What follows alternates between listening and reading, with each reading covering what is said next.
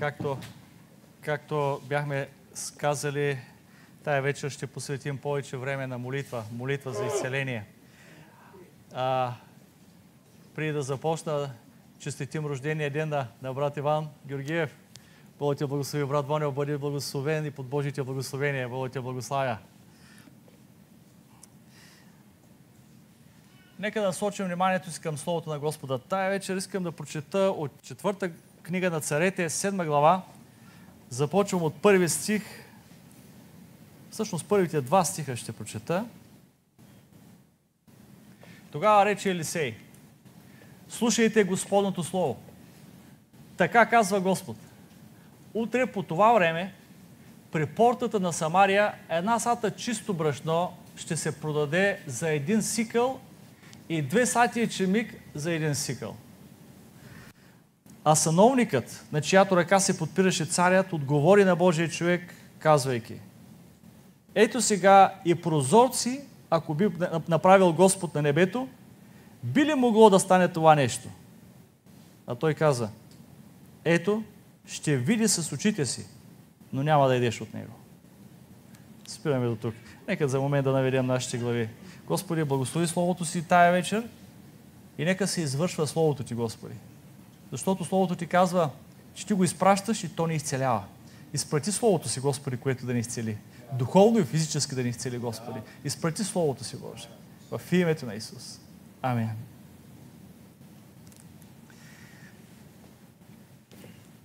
Марка 4 глава 9 стих. Марка 4.9. И каза, който има уши да слуша, нека слуша. Думи на Господ Исус Христос. Който има уши казва да слуша, нека слуша.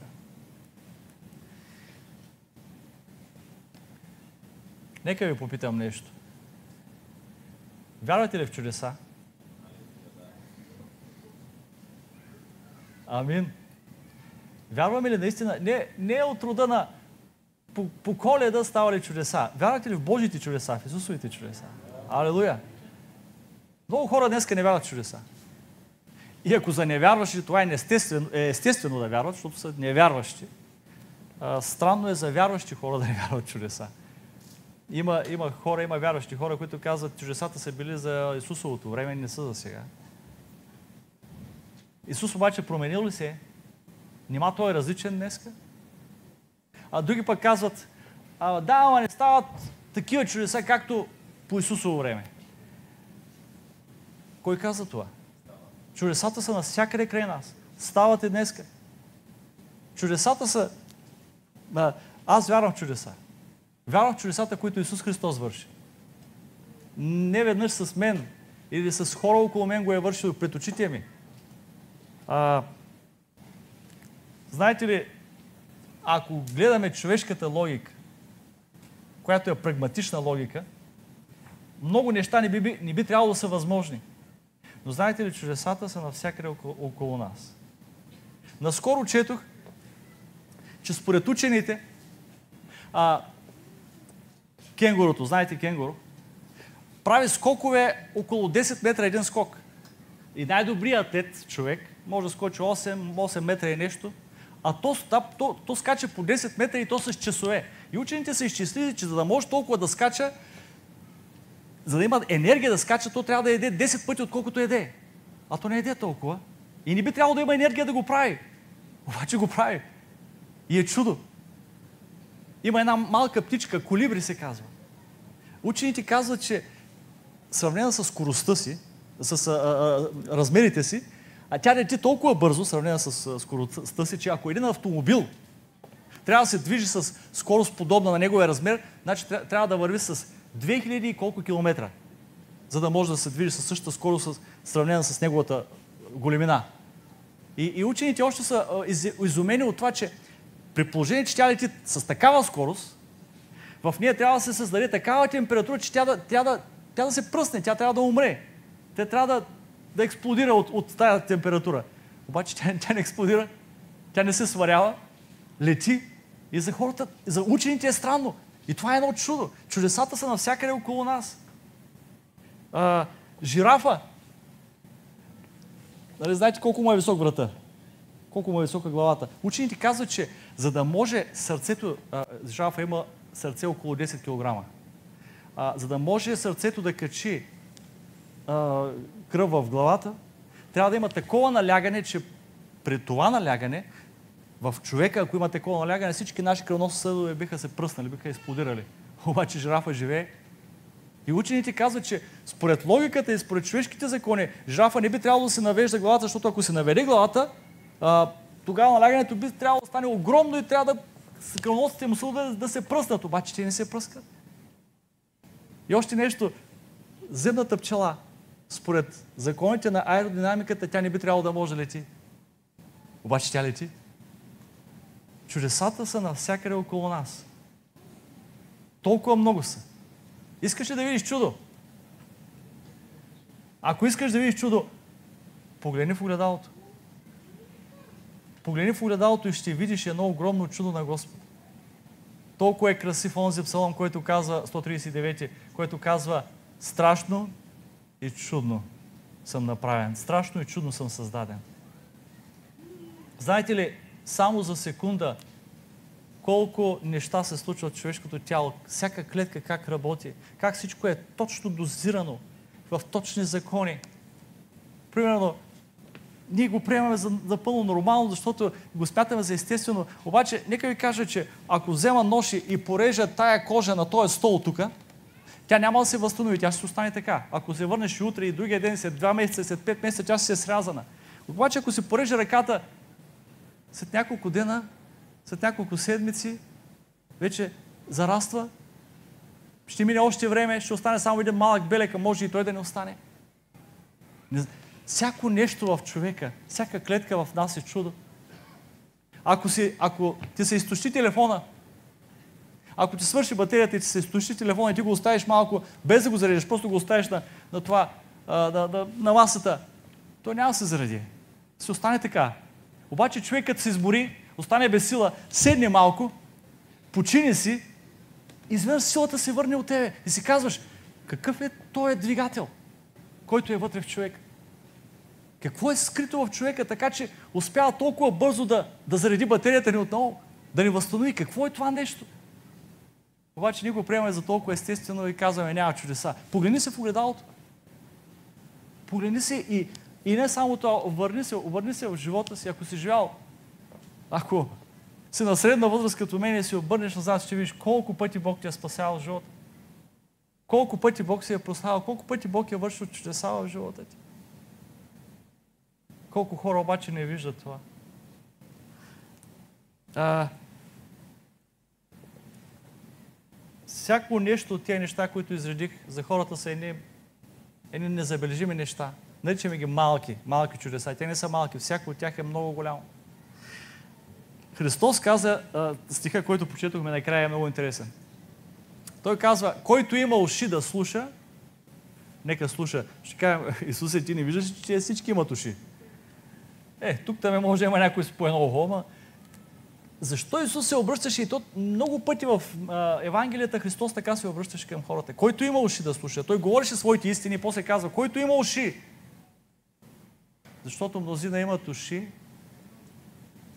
чуват Словото, но то нищо не, не прави в тях. Те не вярват в Словото. И той говореше за едни други уши. Аз тази вечер ще кажа, който има очи да вижда, ще види чудесата на Господ. Прочетох един текст а, за един човек. Спомняме си Божия човек Елисей. Божия пророк Елисей. Господ извършваше много чудеса чрез него. И, и а, столицата Самария беше обсъдена на Израел. И, и толкова време, толкова време бяха под обсада и бяха в такъв глад, бяха в такава нужда. И когато вече чудеха се какво да правят, до там, че чудеха се децата си да ядат. Нали? Толкова страшно беше, такъв страшен беше глада. Идва Елисей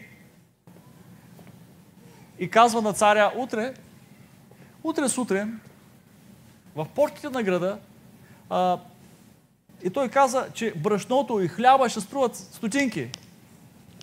Перефразирам. Обаче съновника, он е съветника на царя, поглежда го и казва, това няма как да стане. Като гледа какво се случва, като гледа глада, като гледа как умират хората от глад, се чудят какво да ядат, Това казва, и е прозорци на небето Господа направи, това не може да стане.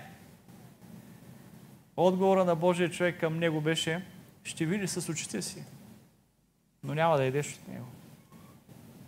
И знаете ли, това, което каза Елисей, това се случи. Само, че той човек, който не вярваше, че ще стане, не, се, не можа изобщо да се ползва от него. Спомните ли си историята? А, когато на сутринта разбраха, че целият лагер на противника, който ги обсаждаше, са мъртви, и тогава всички тръгнаха навънка да ограбят, да, да, да, да плъчкосат лагера, да вземат храна. А, и царя поставя точно този сановник да пази нещата, обаче хората като тръгнаха и го прегазиха. И той наистина умря. Кой иска да кажа? Преди, преди седмица-две говорихме за това, че вярата е избор. Ти можеш да избереш да вярваш или да не вярваш в Божите чудеса. Това е твой избор или мой избор. Ако избереш да не повярваш, чудото пак ще стане, но няма да те ползва тебе. Няма да вкусиш от него. Чудото, Господ пак ще си извърши чудесата. Човек може да не повярва. А, аз не вярвам. Не дей. Но чудото пак ще стане. Те хората не вярват, че, че пчелата може да лети. Обаче тя лети. Всеки път, когато видиш една пчела да лети, виждаш чудо. Хората не вярват, но то си става. А, ако избереш да не повярваш в Божите чудеса, Бог пак ще си извърши онова, което е, е Неговото. Бог пак ще го извърши. Но тебе няма да те ползва. Ти няма да си част от това чудо. Ти няма да си участник в това чудо. Ти няма да си част от това чудо. Повярвай в Божите чудеса. Не просто в чудесата по принцип. Повярвай в Божите чудеса. Вярвай в чудесата, които Христос върши и днеска. Вярвай в, в това, че ти самия си чудо и благодари на Господа всяка сутрин, когато станеш, че това е едно чудо, че, че можеш да си отвориш очите. И, и, и за, да, за, за да живееш тая една минута, ако щеш, се случват милиони чудеса в тялото ти, за да можеш да си жив, да дишиш. Ако повярваш и приемеш Неговите чудеса, ставаш част от Неговите чудеса. И не само това. Ако повярваш Неговите чудеса, Бог завърш, започва да върши своите чудеса чрез тебе. Чудеса не само на изцеление, а чудеса на спасение на души. Чудеса на благовестие, чудеса на носи светлина. Повярвай в Божите чудеса, защото Господ ги върши. Нека Бог да ни благослови. Ще дам думата на брат Пончо да продължи. Брат Пони, заповядай.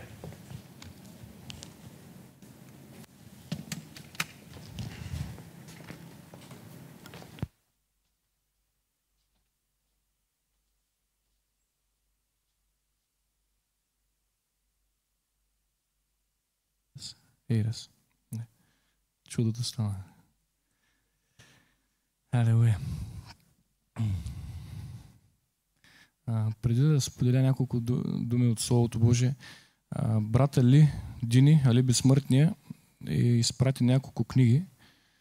Ако някой иска да се закупи неговото свидетелство, живота му, как е от мусулманин, как е станал християнин, много чудеса, които са се случили. През сестра Еми има от тия книги. Мисля, че 16 лева е цената. Наистина, тия, които сте го слушали, които чухте свидетелството му, а, знаете, че се струва.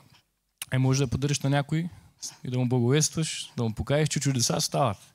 Защото много чудеса има тук в тази книга, пък в другата книга, от която четем всеки ден, е пълно с още повече чудеса.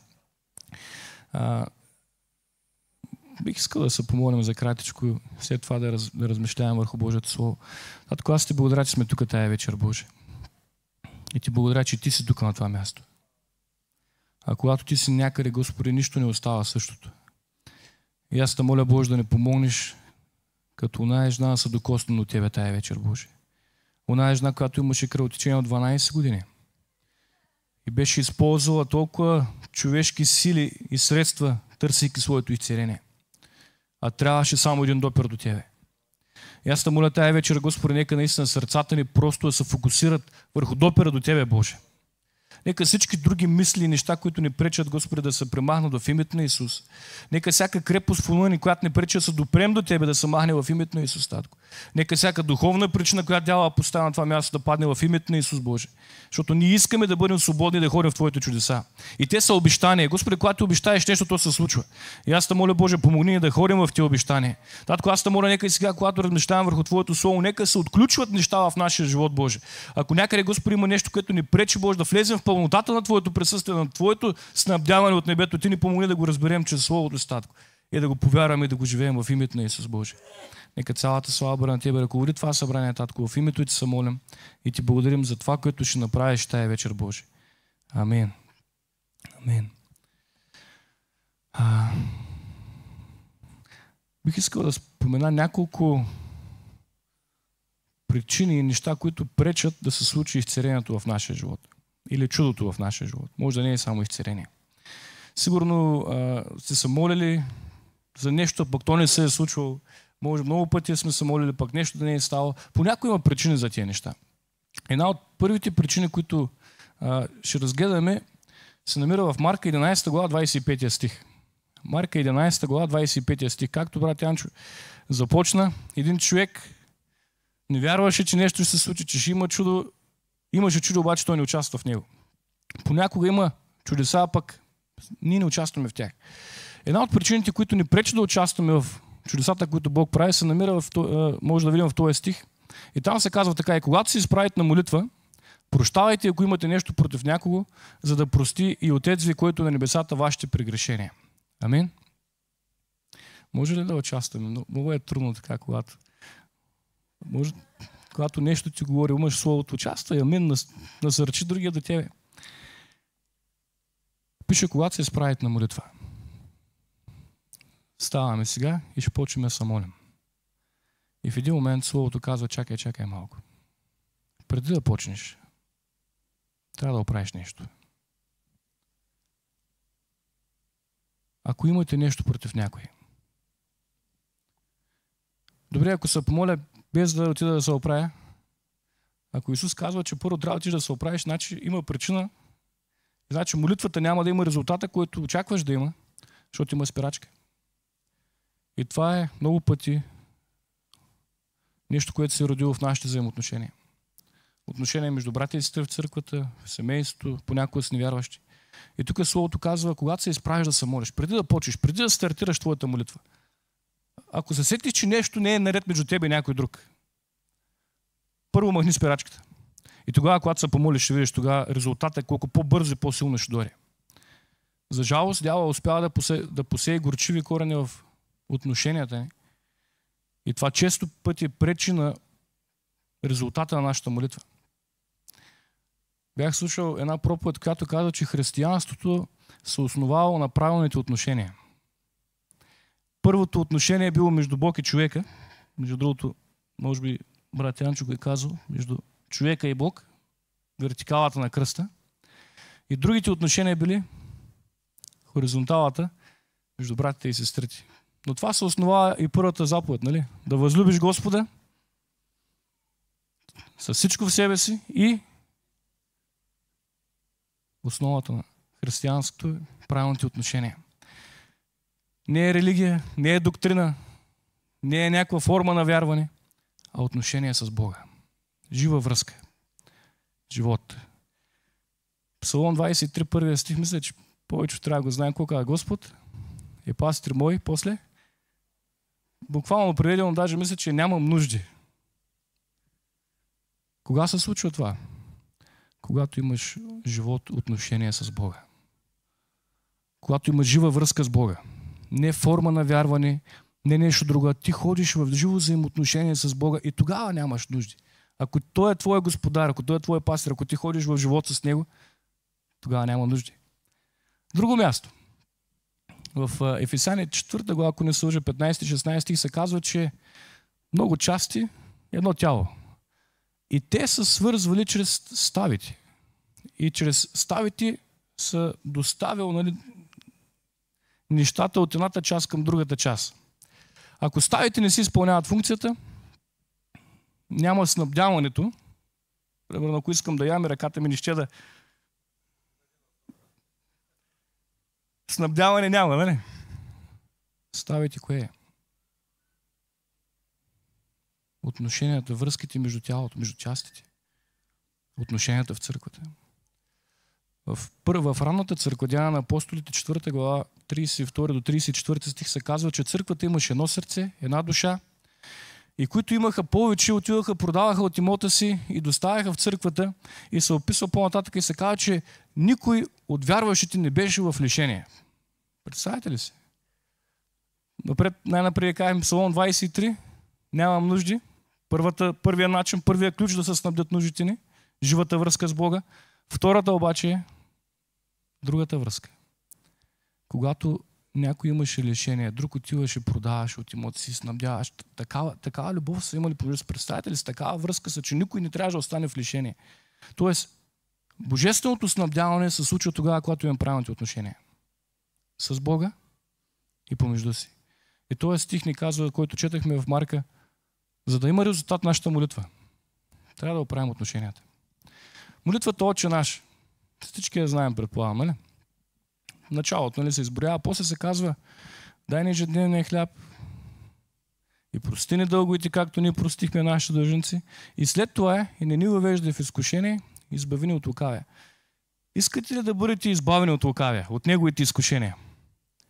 Преди това има нещо, което трябва да се случи. Както ние простихме. Дяла може да нанася поражение, когато не сме изпълнили първата част. Не е случайен словореда в Божието Слово. Не е случайно подредени, не са подредени случайно думите на Исус в молитвата. Той казва, прощавам ви, прощавате, избавям ви от лукавия. Пречката е няма. За жалост обаче тук често стои горчивия корен на непростителност, на, на неприязъм, на нещо друго. Ако искаш да дори пълнотата на чудото в твоя живот, освободи се от него тая вечер. Позволи на Бог да даде свобода и чистота в отношенията. И ще видиш как божественото снабдяване започва да се отключва. Говорим, нали, не само някой материал, говорим за изцеление, за чудеса, за други неща, които могат да се случат. Другото нещо е неверието, с което и брат Янчо започна. Много пъти чудесата не се случват, когато има неверие.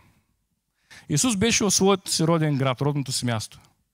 И Словото каза, даже може да го прочетеме, в Марка 6 глава от 2 до 6 стих. Марка 6, от 2 до 6. И когато настана съботата, почна да получава в синагогата и мнозина, като го слушаха, се чудеха и думаха откъде има това всичко това и каква е дадената на този мъдрост и какви са тези велики дела, извършвани от ръцете му. Той е не е ли дърводелеца, син на Мария, брат на Яков и Осия, Юда и Симона? И сестрите му не са ли тук между нас? И те се съблазниха в него. Четвъртия. А Исус им каза, никой пророк не е безпочет от в своята родина и между своите роднини и в своя седом и не, и не можеше да извърши там никакво велико дело, освен да положи ръце на малцина болни и да ги изцери. И шестия. И чудеше се на тяхното неверие и обикаляше околните села и получаваше. Представете ли си Господ Исус? Не е някой човек, дори не е апостолите, не е учениците. Исус. Да се каже за Него, че не можа да извърши никое велико дело или чудо, освен на няколко човека да положи ръцете да бъдат изцерени. И последният стих, който чето ми каза, и се чудише на тяхното неверие. Неверието. Бяхме на едно събрание младежко преди доста години. Дойдоха една група гости от друг град. Аз бях доста по, по-малък. И водех това служение. Другата група дойдоха с техния ръководител. Познава го от части не много добре. А, нали, не искам да говоря за никой като човек. Просто става нещо, което за мен беше много трудно. Той седна на един от, от срещните столове, кръстоса краката, дъвката в устата и сякаш ме гледаше сира как ще проповядам. Знаете ли, много трудно беше. Той просто имаше неверие към мене. А, той вчерашно лапи. Просто го виждах в погледа му. Един нали, пример, който може да се кажем. Днеска сме тук. Абе, някой ще се помоли за мене. Кой ли ще стане? Али, а, хвалението изляза да пият песни. И ги знаем тези песни. идва неверието. И тогава чудесата са заключени. Първо, човека няма да направи нищо, Бог ще го направи. Той прави чудесата. И второ, ако ти идваш без очакване, ще се тръгнеш и без получаване. Ако обаче идваш на среща с царя на царете, не ми казвай, че не може да се случи нищо. Ако идваш на истинска среща, ако вярваш, че Бог е тук, ако вярваш, че прави чудеса, ако вярваш, че Той е влюбен в тебе, не ми казвай, че не може да се случи нищо. Какво е, какво е твоето очакване тази вечер? Нещо ще се случи ли? Очакваш ли нещо да се случи? Да има раздвижване в живота, нещо да, да стане в душата, в тялото, в духа ти, да има някакво раздвижване, нещо да стане. Може Бог дарба ти да може, ако нямаш нужда от изцерение, да я разшири езиците, които имаш, или пределите, които имаш в духовното, духовното естество. Очаква нещо да се случи тази вечер. Иска от Бога да стане. Бог е готов да го дава. Обаче иска да види очакване. Да види вяра, да види, че някой жадува да, да преживее неговото присъствие. Така че неверието много пъти спира. Много хора по трудния начин разбраха чрез неверието си, че, че се случат чудеса. Захария, свещеник, къде ще служеше на Бога, дойде ангел от Господа. И то чудото е не е виждал ангел. И му казва, ще има жете. Жена му не може да има деца. Те са в напреднала възраст. А, как ще стане той? Неверие. Неверието идва, когато гледаш на проблема и спираш да гледаш на Исус. Тогава се ражда неверието. Когато гледаш на проблема и не гледаш на Исус. Гледаш Исус, проблема пада. Гледаш проблема, вярата в Исус пада. Това е формулата. Петър вървеше по водата, всичко беше много хубаво, докато гледаше Исус. Погледа на проблема, на вълните, на ситуациите. Потъна. На кое гледаш тази вечер? Неверието или вяра? А, много пъти в особено по селата, когато ходим, има духовни причини да не се случва, да, да не дойде пълнотата на изцерението. И някои от тях са, когато са практикувани окултни практики, а, ходене по гледачи, баячи, леен на куршуми, червени конци, чукане на яйца, ходжи, екстрасенси и всякакви други подобни.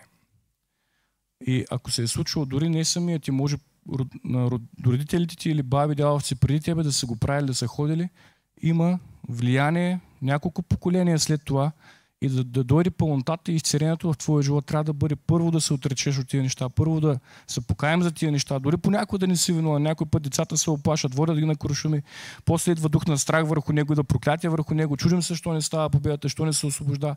За, между другото, първия миг, като отиде на куршума и молеят, сякаш се успокоява. Обаче това е една верига, с която дяволата връзва. И идва дух на страх.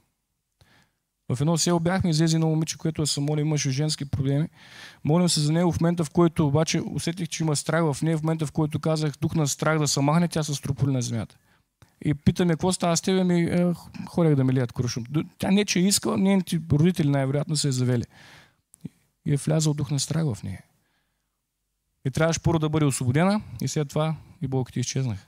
Много пъти физическите проблеми, които имаме, имат духовни причини.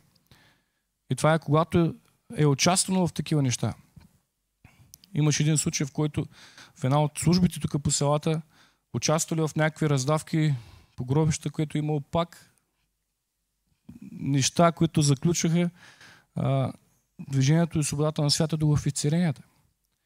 Така че има духовни причини, които понякога не пречат. Нали, дай Боже да не, да не са участвал, ако някой е участвал, първата крачка е да се покажеш да се отречеш неща. Ако твоите родители или преди тях някой го е правил, иска Бог да махне това влияние, се отричаме от тия неща и се покаяваме.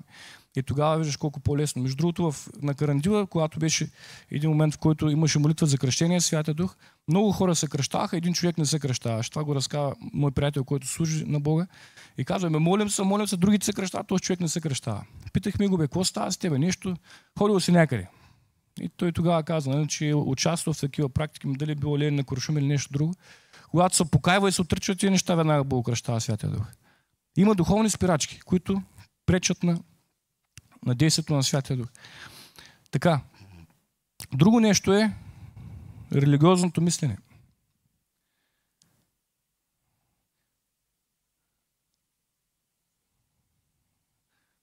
Често се случва. Пак Елисей. Днеска той не е главният герой. Нейман беше военачалника на сирийската войска, мъж, силен, успешен, втория след царя. Обаче имаше един проблем, беше прокажен. Имаше проказа по тялото. И той човек чу от едно момиченце от евреите, които му беше слугиня, беше пленена от една от битките. А че имало някой, който може да го изцери, пророка в Израел. И тогава той отива пред царя си и казва, бе, царю, в Израел имало някакъв пророк, който може да ме изцери, дай да отиваме там. Разбира се, защо ме за тебе. Писма до царя на Израел. И той с една делегация тръгва, подаръци, с слуги с него. Бе, отива сериозна група хора. Тръгват към дома на първо пред царя, отиват. Той се чуди какво става, обаче Елисей казва, прати ги при мене. Тръгват към дома на Елисей. Много интересно. Отива втория след царя. Някой път мислим се едно като дори втория България, примерно, се едно. Сигурно очаква от червения килим да ме посрещнат с почести. Елисей не си направи труда да го види кое е, как изглежда. Приближаваше къщата на Елисей. Елисей като а, идва, чакай, Гиези, иди му кажи седем пътя се потопи в реката Йордан и ще бъде здрав. Отива Гиези, среща Нейман и му казва тия думи. Как отговаря Нейман? Разгневява се първо. Аз тук толкова път съм бил, не е описал точно така, представям си историята. Мислех, че ще дори, ще се помоли над мене, ще помаха нещо с ръка. И ще дори изцерението. Той човека има някакво очакване, някакво религиозно мислене, че по някакъв ритуал там ще бъде изцерен. Обаче, знаете ли, Святия Дух не е ритуален, не е религия. Понякога стоиш на място, той те изцерява.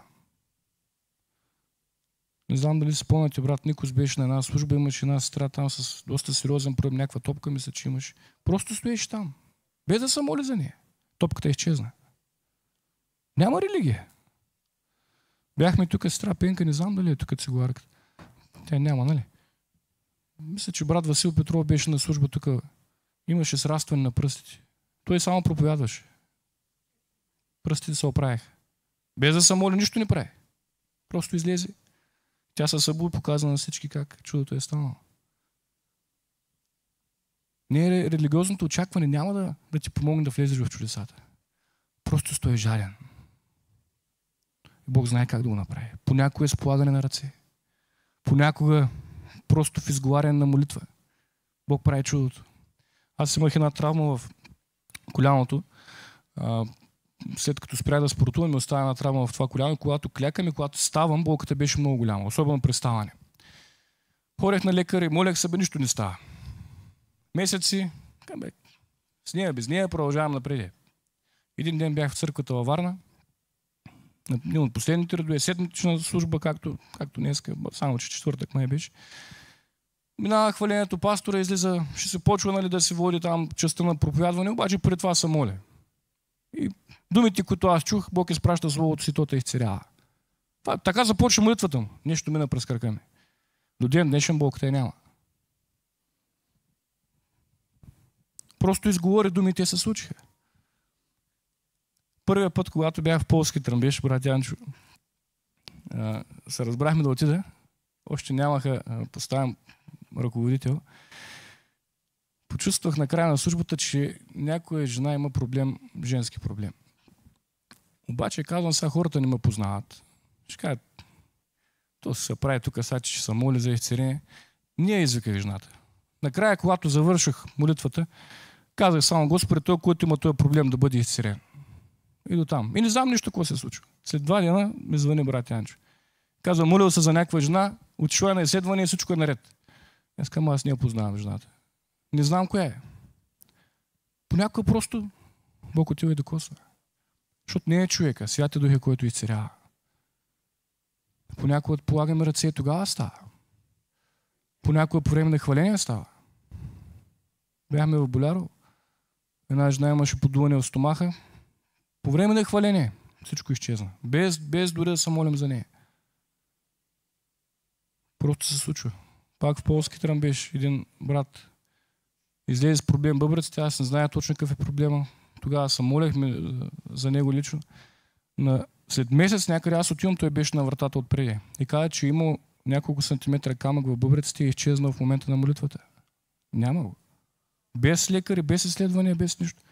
Просто го прави. Въобще не знаеме какво е станало. Един месец ние не знаеме какво се е случило. Той на вратата посрещна на радост и каза, знаеш какво стана предния път? Просто очаквай. Очаквай движението на Святия Дух. Той е което изцерява. Ако си дошъл с религиозно очакване, може нищо да не получиш.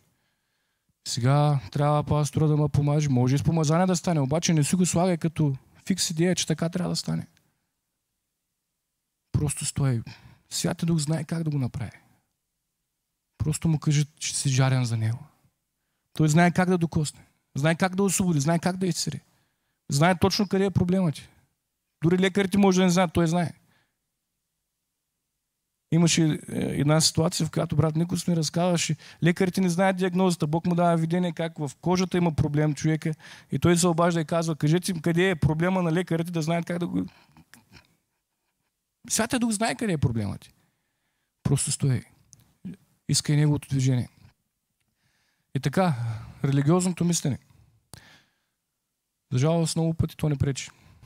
И по време на хваление, и по време на Словото, и по време на молитвата, много пъти не пречи. И знаете ли, мога ли да бъда откровен? В нашата църква често се случва. Тук в Ямбо. Религиозният дух все още му е дадено някакво влияние. Позволи на свободата на Господа да изпълни сърцето ти. Остави твоите очаквания. Ела да срещнеш Исус тая вечер. Ела да паднеш пред нозете му. Но какво ще кажат хората? Няма никакво значение. А той, що те погледнал така, няма никакво значение. Защото тая песен не спяха, няма никакво значение. Бог е тук. И ти можеш да се докоснеш до Него. Щупи твоите човешки мисли. И Господ може да направи чудото още сега. Освободи се. Ма що трябваш, защо пляска някой на, песните, на песните? Няма значение. Исус е тук. Гледай Него. Фокусирай се върху Него. Неговите ръце са готови да прегърнат тая вечер. Понякога и критикарството се включва. Също спирачка на действието на Святия Дух. То, що се облякал те, другият е. Гледай на Исус, Той е тук. Ще го изтървеш, ако, ако продължаваш да гледаш на другите неща. Разчупи тия религиозни мислене. Царя на царете стои до тебе. Може да се докоснеш до него. Може да приемеш сила от небето в този момент. Остави това. Трябва нещо да се случи. Да, ще се случи. Просто застани и се докусна до Бога. Исус е на това място. Словото го казва. Двама и трима събрани, аз съм там. Вярвате, че той е тук, нали? Нещо може да се случи. Друго нещо. За да дойде изцелението, трябва да говорим истината. Трябва да говорим истината. Понякога ние говорим. В смисъл не казвам, че лъжим, но, но крием истината. Имаше един човек, чийто син беше хванат от нечист дух и го хвърляше в огън и във вода. Не знам дали си спомняте тази история. Когато Исус се връщаше от планата на преображението, Марка 9 глава, учениците му с едно множество събрани и се опитват да, изгонят нечистия дух от, от момчето, обаче не могат. Идва бащата на детето. Каза, Господи, ако можеш направи нещо за сина ми. Исус какво му каза? Ако можеш да повярваш, вярвам, Господи, помогни на моето неверие. Голям отговор. Мисля, че в а, оригиналния превод е вярвам не толкова, колкото ти искаш да вярвам. За да идва множество към тях, момчето го сгърчи духа, Исус го освободи. Имаше ли вяра в човека? Тук не беше много, обаче имаше истина. Вярвам, Господи, но може би не е достатъчно. Имаш истина. За да дойде изцелено, трябва да говориш истината. Помоляха ме да се моля за една жена. Моля се, не, не знам каква е нуждата. Тя се оказа съвсем друга нуждата. Говори истината. Ще познаете истината и истината ще го направи свободни. Говори истината. Понякога проблема, който имаш, сякаш се срамуваш от него. Пред Господа няма срам. Говори истината. Знаете ли, аз вярвам, че Исус изкупи срама. Може да си представите, Словото казва, че съблякаха му горните дрехи и си ги разделиха, а цялата, която беше, нали, хвърлиха жреби за нея. По какви дрехи е бил Исус? Срам. Но го направи заради нас. Да плати за срама. И днеска ти си свободен от срама. Така че, говори истината. Дори понякога да се срамуваш от нея. Дори нещо да се е случило, което не е заказване сякаш. Говори истината. Тогава идва свободата. Тогава идва свободата.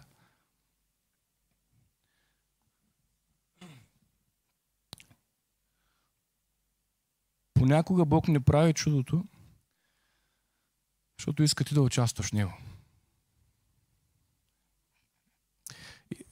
Да бъда, нали, малко да се оточня. Исус мина през храма, имаше един човек, който просеше милостиня. Се казва, че на около 40 години и всеки ден го слагаха при красните врати да проси милостиня. Първо Исус мина покрай него. После Петър и Йоан. Ние четем историята за Петър и Йоан, обаче преди тях Исус мина покрай него, защото влезе в храма. Изгони купувачи, изгони продавачи. Беше там. Обаче не го изцери. Защо? Едната причина е, защото трябваше да се случи в часа на молитвата. От другата причина е, защото искаш да използва Петър и Йоан. Днеска ти си Петър, ти си Йоан. Днеска ние сме тези, които Бог иска да използва. Всеки един от нас. Никой не е повече от другия. Всеки един Господ иска чрез духа си да използва. И понякога ти чудото не се случва, защото Бог чака да дойдеш на Негово разположение, да каже, чрез тебе ще го направя. Искам да участваш в моето чудо. Понякога не е времето. Понякога не е времето да, да дойде чудото. Имаше време да дойде изцелението при Йов, при този човек, който е 40 години, при ония слепо родение. Имаше точен момент, в който Бог освободи чудото. Понякога ние не сме готови. Защото може да дори гордост. О, Бог, колко голямо чудо направи живота ми, аз съм голяма работа.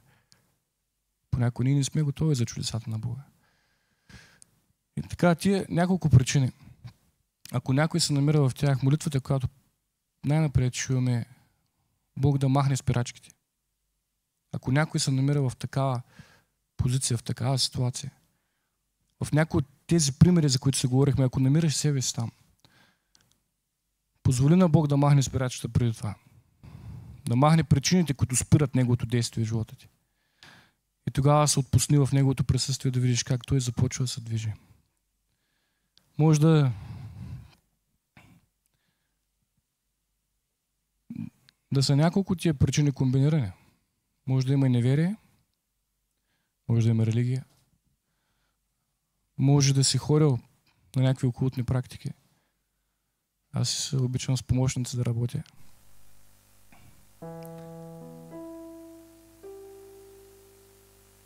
Когато заставам да моля, най-напред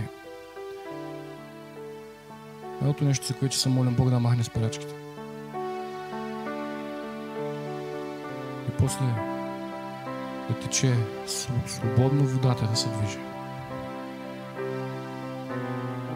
Имаш един пример в капалната витезна. Пет предверия и по средата един басейн. Пет стаи се едно. Пет такива помещения, по средата един басейн. И много болни. Там събрани. От най-различни болести. Не знам от корона дали е има от тогава, но от най-различни болести имаше. От време на време идвал ангел и раздвижил водата. И който първи влезел, бил изцерен. Нещо, един ключ, който има там. От каквато и болест да беше болен. Не знам каква е твоята диагноза. За Бог няма значение. От каквато и болест да беше болен. От каквато и болест да беше болен. Колкото и тежка да е болестта. Колкото е да е страшна диагнозата. Който първи влезеш, напълно беше изцерен. Няма значение каква е болест. Няма значение какъв е проблема. Няма значение колко е сложно, какво каза лекарите. Просто първи да влезеш в въздържаната вода. От каквато и болест да беше болен. Когато дяволът атакува дори ти каже, ама ти, ти, ти ще се останеш нещо друго. Кажи му, не, не, не, няма да се остана те. Той от години твоята болест нищо не се случва. Не, може да е оня и той 38 години беше там. От каквато и болест е. Идваше изцеление. Другото нещо. Трябваше да се движи водата. При застояла вода изцеление не ставаше. Трябваше да се движи водата. И това, което ще искам от Бога тая вечер е да раздвижи водата. Да раздвижи водата в събранието ни. Да раздвижи живата вода на Святия Дух. Да раздвижи оная вода, която носи изцеление. И когато той раздвижи, просто Бог иска да види има ли някой, който е жарен да влезе в тази вода. Говорим не в физическа вода, в присъствието на Святия Дух. И ако някои жарени са втурни в нея, вярвам, че изцелението ще дойде. Това беше другото условие. Да се движи водата.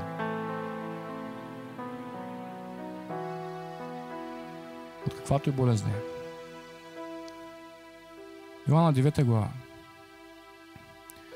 Имаше един слепороден човек. Буквално очите ги нямаше. Не просто не виждаше, а тия ябълките тук, на ретините нямаше. Вижда, минава Исус. Учениците го питат поради чий грех. По някой греха е причината да има болест. Той каза, не е поради грех. Да се яви Божията слава. Накрая човека е изцерен, фарисе, е, фарисеите нещо не могат да го възприемат. Религиозният дух не може да разбере какво става. Исус го среща пак. Разкрива му се като Божия син. И тогава накрая Исус казва не думи. За съд дойдох, които са слепи да почват да виждат, а като виждат, да ослепеят. И тогава фарисеите казват, Господи, ти слепи ли не наричаш? Исус какво им каза? Даже най-хубаво да го прочетем накрая. Да. Понеже казвате, че виждате, греха ви остава. Какъв този грех? Аз разбирам едно нещо. Бог търси хора, които да кажат не мога да виждам без Тебе. Не мога да виждам без Тебе. А, аз виждам беше. Не, такива не, грехът ти остава. Обаче му кажеш, не мога да виждам без тебе. Тогава не просто изцелението, сътворяването на очите почва да се случва.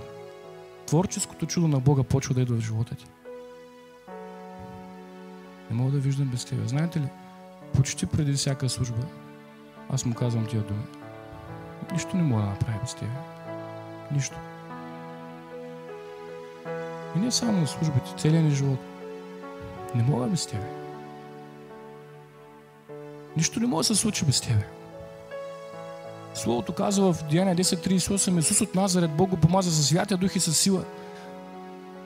Да изцерява всички огнетяване от дявола, да върши чудеса и знамения и накрая завършва, защото Бог беше с него. Това е причината.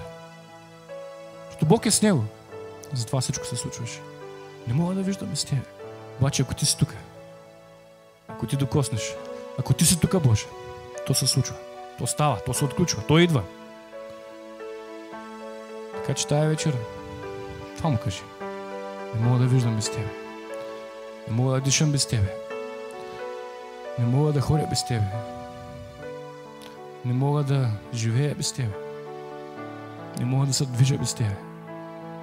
Покажи му, че имаш нужда от тотална зависимост от Него предай контрола на живота си в Неговите ръце. И тогава ще започнеш да виждаш много неща. Започнеш да виждаш неща, които не си мислил, че ще виждаш понякога. Дори Иеремия казва, извикай към мен, ще покажа какви неща, велики и тайни, които не си си мислил, че някога ще видиш. Не мога да виждам с тебе. Те и сега, когато се молим, най-напред ще се помолим за тия спирачки. След това бих искал да се помолим за хора, които имат страх. Защото си мисля, че има някои тук, които се борят с страха още. Страх. Единственият страх, който да остане в нас, страха от Бога. Свят страх от Бога, който надържи в жива връзка с Бога. Всеки друг страх, Словото казва, че не е от Бога. Единственият страх, страха от Господа. И то не панически страх, Бог сега ще ме ударя с сатъра, а страх да живея чисто пред Бога, защото ще го нараня, защото знам, че моят Бог ме вижда на всяко място и искам да бъда израден пред Него, защото го обичам. Така най-напред се молим. По време на молитвите ни ще има и хваление. Много пъти, просто когато стоиш в присъствието на Бога, дори и да не изречеш думи, Бог прави неща вътре в тебе. Всеки един от вас познава сърцето си. Ако има някои от тези проблеми, за които говорихме, дали непростителност, дали неверие, дали религиозен дух, неправилни очаквания, дали е, както той е човек, твърдиш, че човешкото ти познание и да се отворят порти на небето, пак няма къде да стане. Дали е практикувани околотни неща от Тебе сами, от поколение преди Тебе. Просто кажи, Господи, отричам се и не искам тия неща в живота си. Ако има някой, на който не можеш да простиш, ако е тук, направи крачката. Смачка е твоята гордост. Много пъти не прощаваме, защото нашата гордост не пречи, нашето аз. Как, как да отида сега преди? Ма тя знаеш как ще ме погледне или той? Никакво значение няма. Знаеш как Бог те гледа в момента? Махни спирачката. Не стой наръчна. Бог иска да задвижи. Бог иска да задвижи с пълна сила. Просто се освободи. Смачкай твоята гордост, само напрегу от сърце, да не е прощаването. Напрегу от сърце, истински, заради Исус. Защото има нещо по-страшно. Ако ние не простим, и на нас няма да бъде простено. Най-страшното нещо. Затова ще се молим. Всеки знае проблема, през който преминава. Ти си го кажи на Бога сега. Това ще бъде лично между тебе и Бога, между нас и Бога. След това обаче, тия, които имат страх, говорим, борят се с страха, не някакъв страх, са нещо оплашило се, ето е моментно, не, не то е страх. Говорим, ако страха работи вътре в тебе. Ако сякаш дали от боля се страхуваш, дали от някой от тъмното, дали някой от смърт, някой от нещо да не стане. Ако имаш такъв страх, излез напред да се молим за тебе с братя Анчо, дяконите пастори, които са тук, да се молим заедно. Бог да махне този страх. Защото ние не сме под робството на страха, а ние сме в свободата на Бога. Амин. Добре, молим се сега да спирачки да ги махне. Бог да ги махне, а ние му позволяваме Той да го направи. Господи, аз ти благодаря, че ти си тук на това място. И татко, ако има нещо от тия неща в нашия живот или нещо друго, което не сме го говорили, пък ти го изявяваш чрез Святия Дух. Моля да махне всяка спирачка. Боже, аз те моля, нека всеки корен на непростителност да се махне от сърцата ни в името на Исус Боже. Всяка неприязъм да изчезне в името на Исус. И те моля, Боже, помогни ни, ако трябва да смачкаме нашата гордост, обаче да няма непростителност вътре в нас. Защото Словото ти казва, че само чисти по сърце ще видят Бога. И ние те молим, Господи, очисти сърцата ни тая вечер, Боже. Ако имаме нещо към някой, нещо против някой, Господи, сега, когато започваме да се молим, ти каза, преди да почнем да се молим, преди молитвата, когато се изправим на молитва, първо да очистим нещата, да очистим отношенията. И аз те моля тази вечер, татко, махни всяка непростителност от нашите сърца, Боже. Всяка неприязъм, всяко нещо, което не е от Тебе. Да се махне в името на Исус понякога е трудно, понякога дявола държи вързани. Сега молим за свръхестествено освобождаване на тия сърца, Боже. Да могат да отидат, да дадат, да, да поемат, да поискат прошка, да дадат прошка, на което трябва да, бъде, да дойде пълна свобода в духа ти, Боже. Защото не искаме да бъдем вързани, искам да бъдем свободни. В името на Исус се молим, Татко. Името, което е над всяко друго име Боже. Молим да дори пълно божествено освобождение, пълно възстановяване, Татко. Боже, молим те, ако някой е участвал в окултни практики, ако е ходил по леене куршуми, гледачи, боячи, врачки, екстрасенси, червени конци, чукане на яйца, баяни и всякакви други неща. Отричаме се от тия неща. Отричаме се и се покаваме, Господи Татко, и те молим да не освободиш от всичко това. И всяко проклятие, което дошло дали от нас или родствено проклятие, да бъде разчупено в името на Исус Христос. Твоята кръв да освободи, да очисти Боже, да покрие, да възстанови завета с Тебе, Татко, в Твоето ми се молим, Боже. И нека всеки друг завет с дявола да рухне в името на Исус Боже. За Божия слава. Господи, те молим всяка връзка, с която дявол е успял да вържи някой, да бъде скъсна в името на Исус Боже. Всяка вирига да бъде скъсна. Дух на окултизъм, на чародейство, на магиосство, на боячество да се махне в името на Исус Боже. Той няма място в нашия живот, в нашите сърца. Да бъде пълна свобода в дух, душа и тяло. Пълна свобода. Да бъдат непокътнати от Твоето идване, Татко. Боже, в Твоето ми се молим. Името, което е над всяко друго име, Боже. Освободи, Татко. Благодаря, че от някой падна товар в този момент, Боже. Благодаря, че от някой падна товар в този момент, Боже. Движи се святи душа.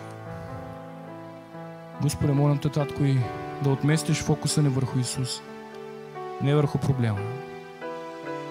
Няма никакво значение колко е голям проблема. Има значение колко е голям Исус. И тая вечер ние искаме да се фокусирам върху Исус. И всяко неверие да падне в името на Исус, Татко. Всяко неверие, всяко съмнение да падне в името на Исус, Татко. В името на Исус, Татко. В името на Исус да падне всяко неверие, Боже. И те моля ония, които си още са борят с неверието. Господи, води ги как вярата им да расте. А тя е идвала от слушане на Твоето Слово. Моля те, учи ги, Господи, да прикарат повече време с Твоето Слово, Татко. Вижи се, святи души. Боже, молям те, Татко, и всеки религиозен дух да махнеш от нас. Всяко неправилно очакване да махнеш от нас. Всяко неправилно мислене да махнеш от нас. Да дори свобода в дух, душа и тяло, Татко, в името на Исус съм молен. Прости ни, когато сме пречили на действието на святото чрез нашите мисли и действия, Татко. Когато сме го поставили в някаква рамка, Той иска да прави повече в нас. Когато, Господи, сме пречили на други да се потопят Божието присъствие. Когато, Господи, с нашето човешко разсъждение понякога върху Твоето Слово пак сме пречили, Боже. Ето, молим, нека свята да се движи в свобода. Просто да пием от Тебе. Просто се потопим в Тебе, Татко. Просто да влезем в Твоята слава. Без значение човека до нас. Без значение пастор, кой е казал, може нещо да е объркал, нещо да е станало, или, или хвалението. Няма никакво значение. Исус е тук. Докусни се до Него. Поискай Той да те прегърне тая вечер. Няма никакво значение твоите разсъждения. Понякога сякаш си казваме, аз мисля, аз чувствам, аз искам. Бог въобще не го интересува в момента това. Той каза, виж моята воля, виж моя план, виж моите мисли за тебе. Просто влеза в тях. Движи се, святи души. Движи се, татко. Нека останем още малко. Още малко да останем в, между нас и Бога в тази молитва. Ако се още чувстваш, че нещо трябва да казваш на Бога, нещо с което се бориш. Докато върви тая песен, просто му кажи, просто се отпусни. Просто му кажи твоите думи, твоето сърце. Ти и той сте сега. Ти и той сте сега. Ти и той сте сега. Просто му кажи. Просто му кажи. Алелуя. Движи се, татко. Движи се, Боже. Движи се, татко. Качвам се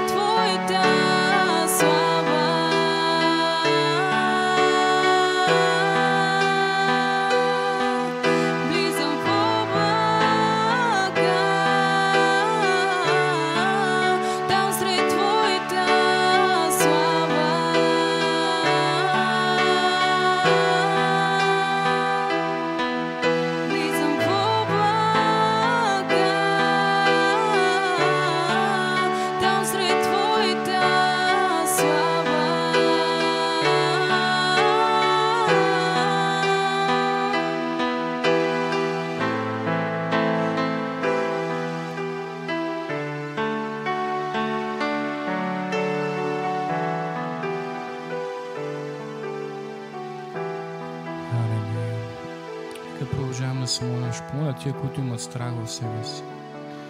Борят се с него. Пак ви казвам, не е оплашил съм нещо, просто е изкочил някой от преди се е оплашил. Говорим страх, който успява да те контролира, успява да ти влияе, да ти пречи на връзката с Бога.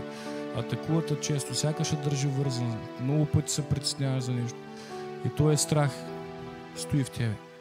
Това да се моля. И седи смело напреди да се моля.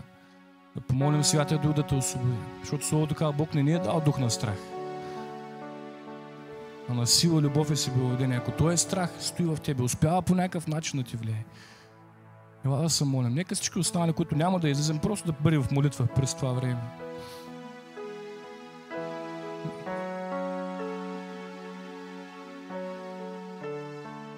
Халелуя. Нека всички останали.